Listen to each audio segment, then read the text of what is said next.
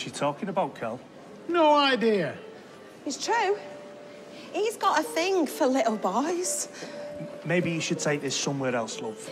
Yeah, I might have known you'd take your boss's side. Though how he's still got a job after being nicked for burglary is beyond me. Oh, yeah? He robbed a dead woman's laptop on the day of her funeral. Kel? She's delusional. Look, I can't afford to get into trouble, Bernie. I've got five kids. She's had it in for me since I dumped her. Lies. Wait, so you used to go out with him? That's not the point. Uh, you're saying I fancy little boys. You're not a little boy, are you? Stop twisting it. You molested my son. Uh, her son's 29, by the way. Well, it happened years ago. You need help, love. No, you've got to believe me. Right, come on, move on, folks. Let's have you. Move I'm on. telling the truth. You can drop the concerned mum act.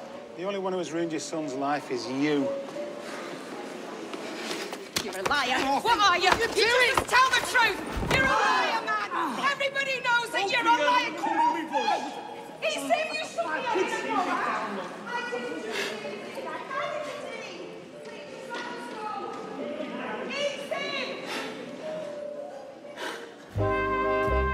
Stay with us on ITV. We're back in Coronation Street in half an hour.